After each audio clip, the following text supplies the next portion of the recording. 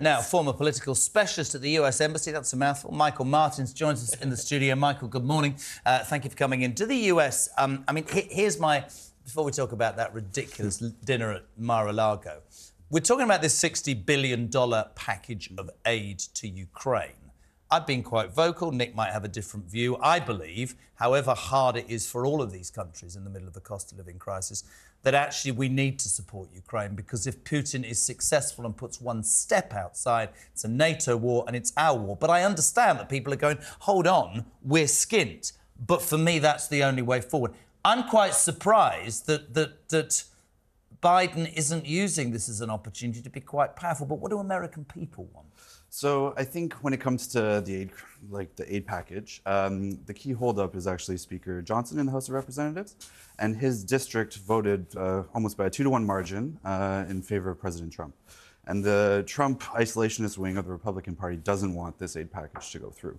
And uh, when Foreign Secretary Cameron was in D.C. and talking with uh, Secretary Blinken, uh, they almost they came out almost immediately and said, if you table this vote, you know, we will call a confidence vote in you as a speaker. So in many ways, it's actually more about the Speaker of the House rather than the American people's preference. What do they think? Do they support? Earlier, somebody said, oh, Trump's just talking to his base. But there is an argument that says that NATO countries, European countries, could do more financially, and America has always spent more. So is, is Trump appealing to a wide base in America, or what? what? What's the reaction to his view? He's he's appealing definitely to Republican voters that are much more skeptical of involving themselves in foreign wars and paying for them. Um, and in an election year, uh, especially when many congressional uh, people have to run for re-election, uh, one of the first steps to that is getting over a primary, and they have to appeal to that base. So uh, it's a lot of it is electioneering uh, in an election year too. Do you think that Donald Trump would see that through if he was to become president and he would cease all aid going to Ukraine? It was one of the first, uh, one of the only things that he said after his meeting with uh, Foreign Secretary Cameron is that uh, there's a there's going to be a focus on doing a deal, ending the conflict in in Ukraine. Uh, what But he's that that will look like. egotistical. He thinks he can pick up the phone to Putin and finish it, doesn't he? Well, he's got, you know, he's not unfamiliar with President Putin. I mean, there are there are some people arguing that if anyone was to do it, he would be the man. But of course, that would be massively to the detriment of Ukraine because Yeah, presumably it would involve giving up some of the land. Yeah. Uh, I mean, I completely agree. I mean, that, that's the thing. I mean, he paints himself to be a picture, but Nick's right.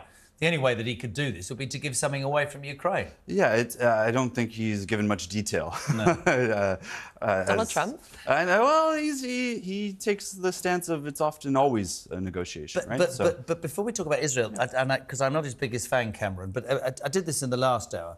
Whatever we say about Donald Trump, whatever we say about this small core of Republican voters, this man has some amazing pulling ability. Our foreign secretary, who was a not successful prime minister who stalked out of 10 Downing Street when he lost a referendum, quote, this is how he described Donald Trump a year ago divisive, stupid, and misogynistic, right?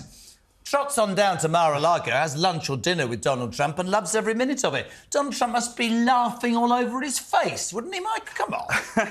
I think I think President Trump is is wholly focused on winning the election. Do you think And he will? Personally, I, I do. I think he's leading in the polls. I think he's leading in swing states, often, sometimes by a double digit margin. Uh, I think the bigger, one of the bigger issues, he's often leading in, there are seven competitive Senate seats, uh, and he's leading in some of those by up to 10 points.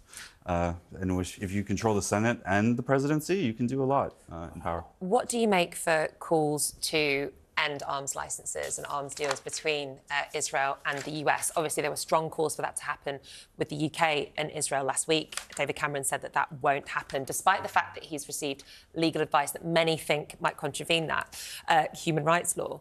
Um, what do you make of the US's current relationship with Israel? On one hand, selling arms, whilst also airdropping in much needed aid into Gaza. Where does that sit with, with voters? So, uh, I think Secretary Blinken, uh, when he was talking about this at the press conference, you know, he, he outlines the delicate balance that American foreign policy has to play in that conflict, where it's uh, traditionally been a strong ally of Israel and at the same time a supporter of a two-state solution.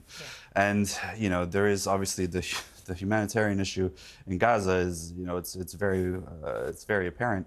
So the U.S. at the same time is pushing. Uh, they've done the airdrop. Uh, I think it was uh, today. But I, I, I take Nicola's point, and I think that this is really where I don't want to make it about Sunak. I'll make it about Biden.